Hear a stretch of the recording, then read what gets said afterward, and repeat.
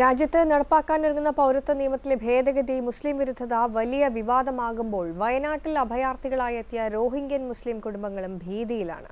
മാന്യമായി ജോലി ചെയ്ത് ഇവിടെ തന്നെ ജീവിക്കാൻ അധികൃതർ അനുവദിക്കണമെന്നാണ് ഇവരുടെ ആവശ്യം. മുഹമ്മദ് ഇല്യാസ് അടക്കമുള്ള പതിനൊന്ന് റോഹിംഗ്യൻ അഭയാർത്ഥികൾ രണ്ടായിരത്തി പതിമൂന്നിലാണ് ജന്മനാടായ മ്യാൻമറിൽ നിന്നും അസമിലേക്ക് കുടിയേറിയെത്തിയത്. രണ്ടായിരത്തി പതിനഞ്ചിൽ ഡൽഹി വഴി ഇവർ കേരളത്തിലെത്തി.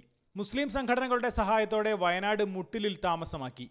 ഐക്യരാഷ്ട്ര സംഘടന നൽകിയ തിരിച്ചറിയൽ കാർഡ് മാത്രമേ കയ്യിലുള്ളൂ. ഇല്യാസിന്റെ ഭാര്യ ഗുൽബഹർ ഗർഭിണിയാണ്. അഭയാർത്ഥികളെ നാട്ടുകാർ അധികം പേരും ജോലിക്കൊന്നും ഒപ്പം കൂട്ടാറില്ല. ഭാര്യയുടെ പ്രസവച്ചെലവ് കണ്ടെത്താൻ പോലും ബുദ്ധിമുട്ടുകയാണ് ഇല്യാസ് ഇപ്പോൾ. ഔദ്യോഗിക കണക്ക് പ്രകാരം റോഹിംഗ്യൻ അഭയാർത്ഥികളായി കേരളത്തിലെത്തിയ പതിനൊന്ന് പേരും ഇപ്പോൾ വയനാട്ടിലാണ് താമസം.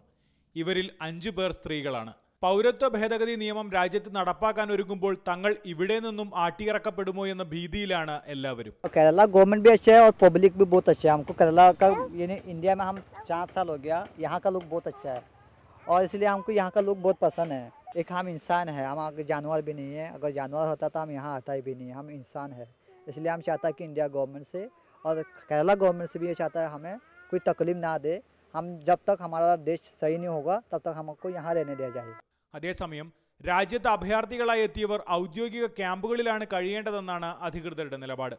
ഈയിടെ വയനാട്ടിലേക്ക് വന്ന മൂന്ന് റോഹിംഗ്യൻ മുസ്ലിങ്ങളെ പോലീസ് ഹൈദരാബാദിലെ ക്യാമ്പിലേക്ക് തന്നെ തിരിച്ചയച്ചിരുന്നു. വയനാട്ടിൽ നിന്നും വൈശാഖ് ഹൈര്യൻ ഏഷ്യാനെറ്റ് ന്യൂസ്.